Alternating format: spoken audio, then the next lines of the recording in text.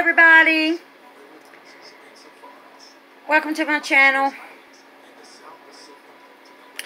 Um, just wanted to tell you about this. My hair is straight as board. I have no curl. So, the other night, I was being lazy. I got out the tub and I'm like, I am not fixing to blow dry this thick crap. Not doing it. So, what I did was, I put it up in a bun.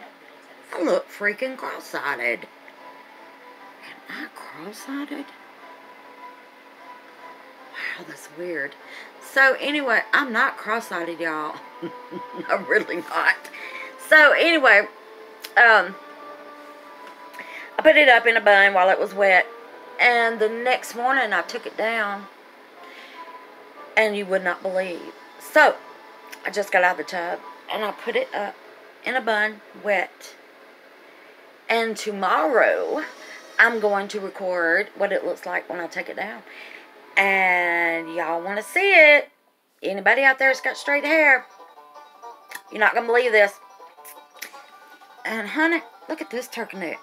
Oh, my God, have mercy, Jesus. Look, look at that. Oh, Anybody got any ideas how to get rid of this thing? I don't know if I can get rid of it. Because I'm old. It's probably there. It probably ain't going anywhere.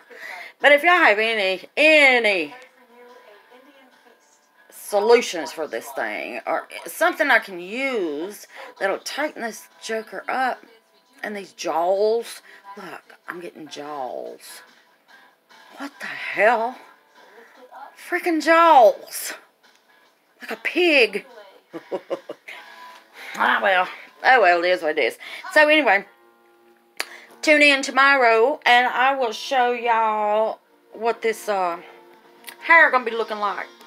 Because it is going to amaze y'all. I'm telling you, you really want to tune in.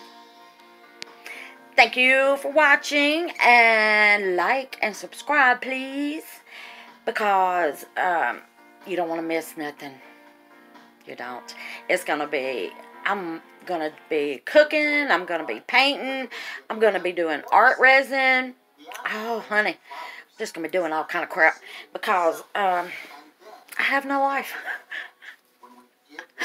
Woo! So, I have to find something to do before I go nuts. Alright, well, I love y'all. And thanks for watching again. Like and subscribe, please. Peace.